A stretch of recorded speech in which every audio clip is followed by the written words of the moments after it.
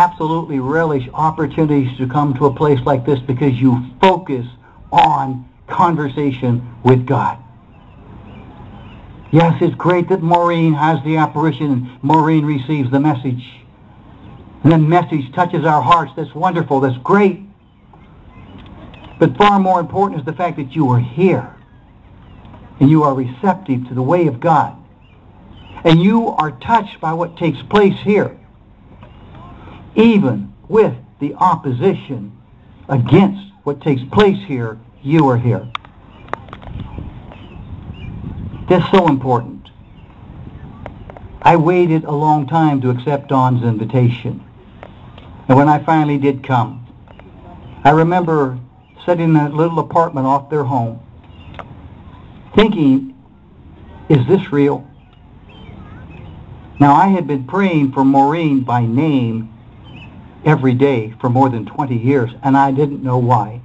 I met her briefly 20-some years ago, and all of a sudden, I'm praying for her along with the visionaries of Medjugorje and a handful of others. And I've been invited to come here, and I kept finding reasons not to come. And then finally I was here, and I stand there in that room, and I'm thinking, is this real? Let me tell you, before I got to the last word, is this, Our Lady spoke very clearly, you are here. Hmm. That's all she said. You are here. Well, you are here. And you are here to pray. And you are here to share. You are here to witness. Everyone can't do what I do. Everyone is not meant to do what I do. But if you touch one heart, one soul,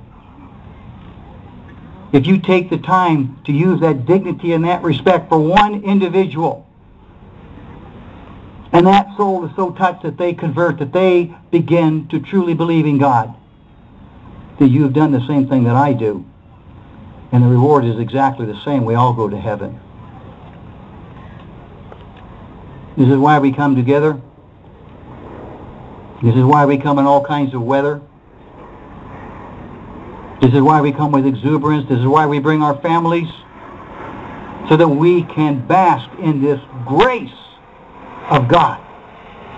Because that's what apparition is. It's pure grace.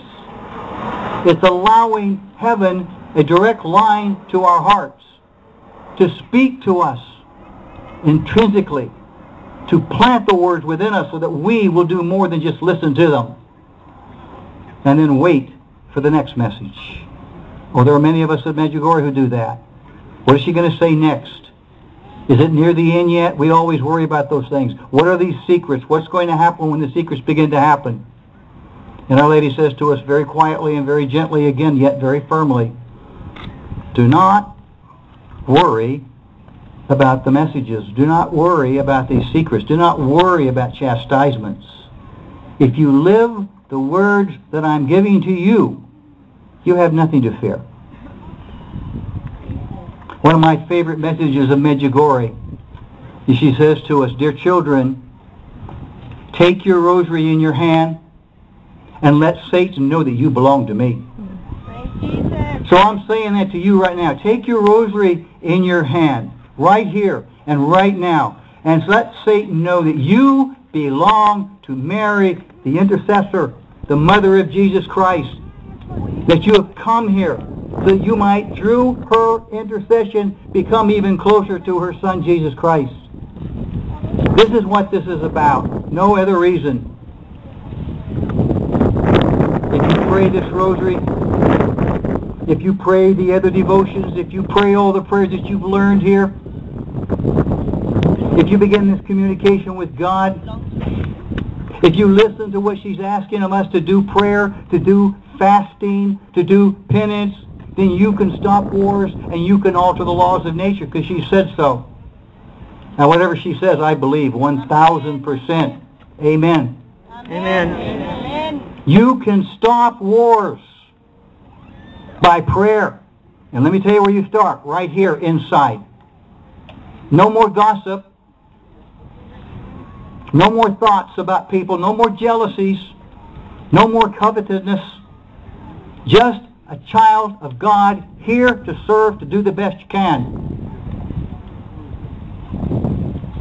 You can stop the war. You can alter the laws of nature.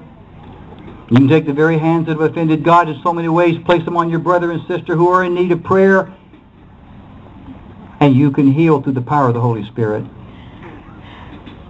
Let me close by telling you one story.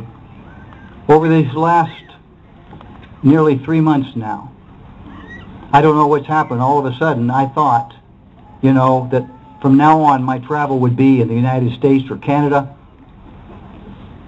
I've been overseas so many times, and it's hard, and it's stressful. And so I'm personally, humanly thinking, well, I'm not going anywhere out there anymore. I'm only going to give talks in the United States. And the next thing I know, I started getting invitations from South America, from Mexico, from Central America, and then finally, the one that I've waited for for more than 20 years, the one place that I knew I would go if I ever received a real, authentic request to come, someone who knew what they were doing because it would be a difficult trip. And it came. And it was a trip to China. Oh. I went inland in China and I told the Chinese people, and I'm sure there are government spies everywhere in the audience, the reality of God, the truth of God. I spoke more about the truth and the reality of God than I did about the messages of Medjugorje. You see, it's just a vehicle, just as holy love is the vehicle. I remember the first night that I went there, one little church in a city called Xinjiang, and this lady had worked so hard. She had spent literally thousands of dollars to spread the word everywhere that I was coming. This was an American woman, an expatriate, her husband working for a Chinese company there. And there were several of them. They had formed a group to bring me there. They even came to Medjugorje to meet with me when I was there on a trip in November so that I could make sure they knew what they were doing. I wasn't going to go unless they knew what they were really doing. And so this lady, Michelle, had worked so hard. This was where she lived. This was her little hometown now in inland China. Spent all this money, spent all this time. Almost got arrested the few days before I got there because she was passing flyers out on the street inviting people to come. And the police came along and they were about to haul her off to jail. And she got so mad she stomped her foot. She says, I'm not leaving and they backed away. Hmm.